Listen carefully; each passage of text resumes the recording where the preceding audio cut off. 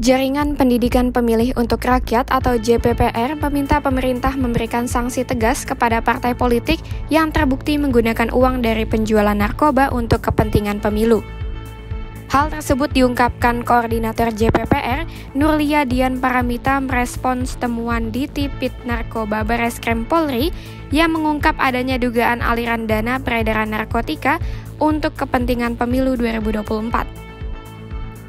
Pegiat kepemiluan yang akrab dipanggil Mita ini mengatakan, meski dugaan dana ilegal tersebut dilakukan oleh oknum partai politik, dia meminta agar publik tetap menyorot dan mengevaluasi peran serta keberadaan parpol, termasuk melakukan reformasi dan demokratisasi, supaya parpol tidak lagi hanya dikuasai oleh oknum yang menguasai modal ekonomi saja.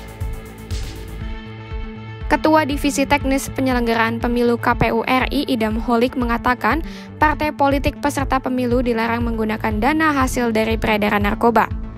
Hal itu diatur dalam pasal 339 ayat 1 huruf C Undang-Undang Nomor 7 Tahun 2017 tentang Pemilu. Dia menjelaskan, aturan yang mengakomodasi mengenai dana kampanye akan segera dibuat dalam peraturan KPU.